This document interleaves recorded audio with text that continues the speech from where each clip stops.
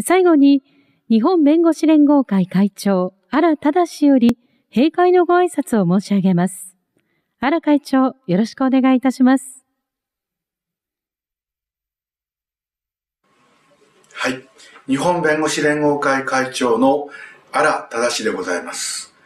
国際知財司法シンポジウム2021の閉会にあたりまして、主催者の一人として一言ご挨拶をさせていただきます。本シンポジウムは日本の知財司法の担い手がまさにオールジャパンで共催する情報発信イベントとして2017年から始まりまして、今回は第5回を数えることとなりました。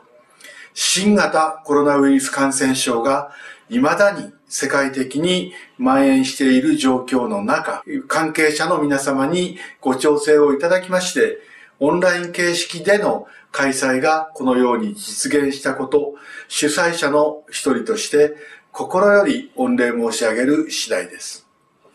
本シンポジウムは各国における知財、司法の最前線で活躍する放送実務家の方々と政府関係者の方々をオンラインでつなぎ、模擬裁判やディスカッションを通じて国際的な知財、知的財産紛争の司法判断や近時の知財トピックについて知見を深める貴重な機会となり、参加者の皆様にとっては有意義な機会となったことと私は確信しているところでございます。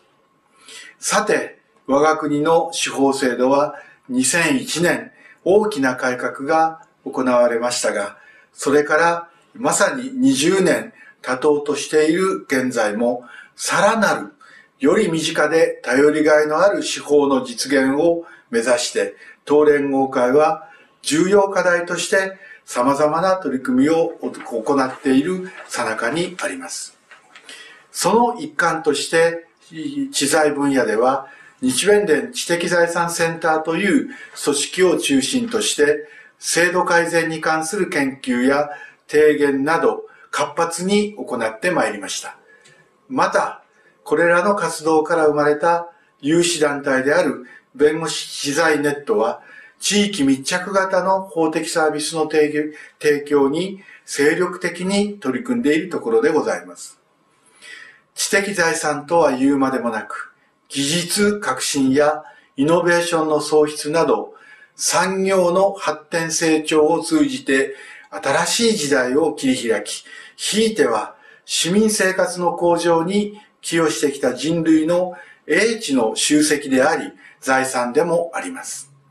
資材司法制度の改革には、その普遍性に我々自身が思いをいたし、多様な視点からユーザーニーズを把握し、グローバルな経済活動の実情や諸外国の制度について共通の理解が求められているところでございます。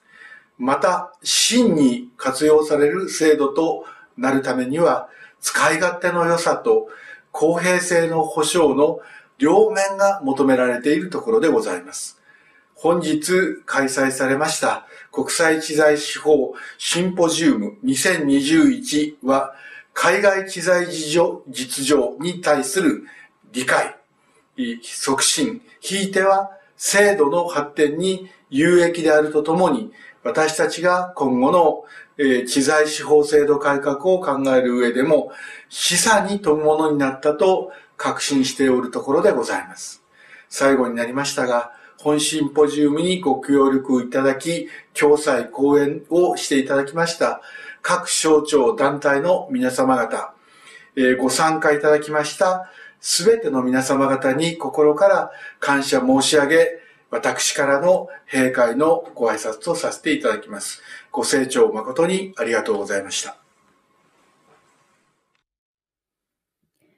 荒会長、ありがとうございました。